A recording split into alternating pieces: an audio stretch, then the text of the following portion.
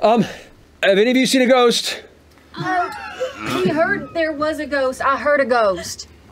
Did you see it? Have You seen a ghost? See, the, the, the one to the right goes like, no such things. Like, no, I've seen some shit right. Just be careful.